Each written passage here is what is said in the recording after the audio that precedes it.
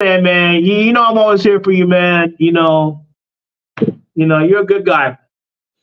I'm always here for you. I'm always here for you, man. Just just want you to know that. You know what I mean? I'm uh, I'm always your friend. I will do my best. I'm gonna make changes. But until then, if you don't need me, I'll do my own thing. And when you want me to come back, let me know, and I'll I'll make arrangements. But that's it. That's it. That's it. That's it about Auston. Okay. But I just want to get that message out there. I mean, I could text him too, but you know, I'm ready to get out there. And uh yeah. So I appreciate the nine dollars, bro. Appreciate the nine dollars. Hi guys. Um, so today I'm using a mic to record the audio because someone had said that the sound level was too low on my other video uh, and hopefully this will help but the mic sometimes make me sound as if i am covering my mouth. So let me know how the the, uh, the sound how the audio is on this uh, video. And i want to say one more thing. I truly appreciate the feedback because that is how i will improve. So anyways yeah. So i was watching uh, floyd's video our live stream yesterday and in the live stream he It was so pathetic because he is begging Auston to take him back. He is, you know, he is basically he told Auston that you know he will he will be there for Auston. He will, you know, wherever Auston wants to meet uh, Floyd, there will be Floyd. He said he would even return back to uh, Argentina, the, the, the country that was so racist that he had to leave in like in less than 48 hours. But he said if Austin wanted him there, he would be there. If you're watching this, buddy, I want to come back. We need to meet up again, bro. Look, I want to be able to, and if you need me to, here's Auston, and I, I want you to listen to me. Listen to me. As much as I don't want to go back to Argentina, if you need me to come back to Argentina, okay, if you if you need me to come back to Argentina, I will come back. Okay, I will come back. As much as I don't want to, okay, I don't, I don't. I gave it a second chance. I don't want to come back to Argentina. I really don't want to. I'm gonna be real with you. I don't. I don't want to go back to Argentina.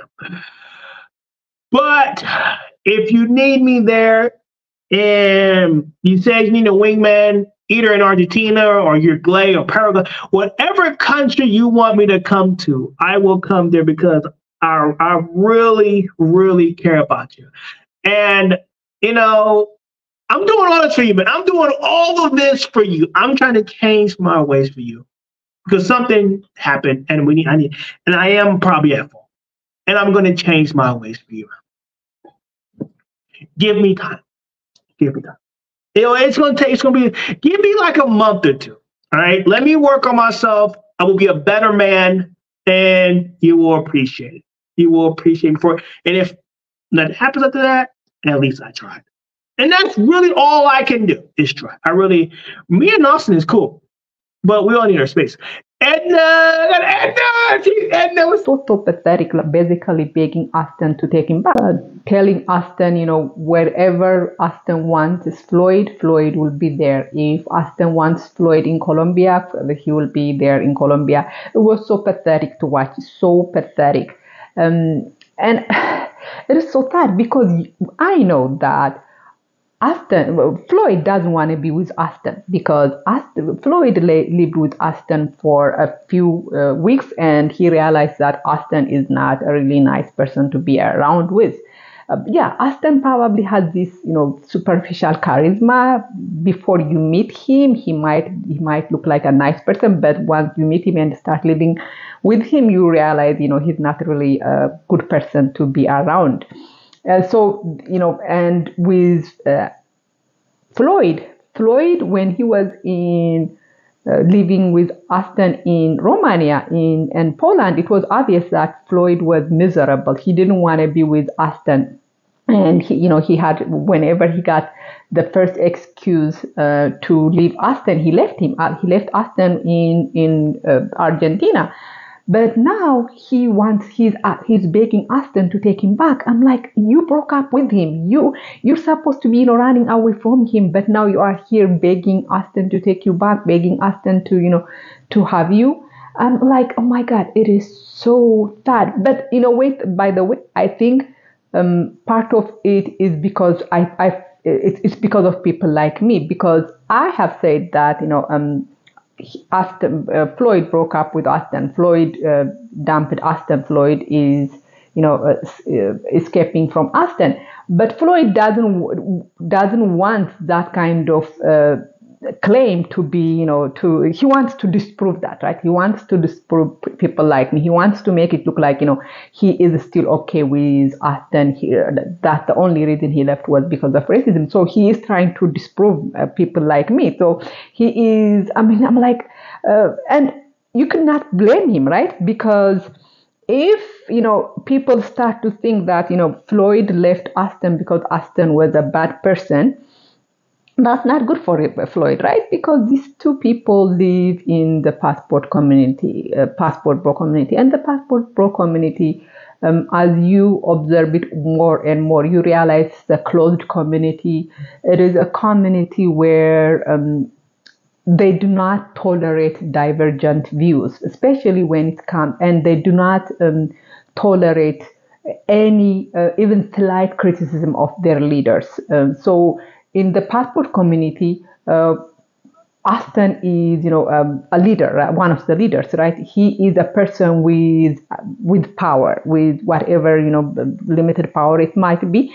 It he has power, and the passport community doesn't allow you to criticize people like Auston. Well, I mean, if you are, if you want to stay being part of that community, so Floyd, of course, has to make sure that you know people do not think he has he has anything negative um, to say about Auston or anything negative.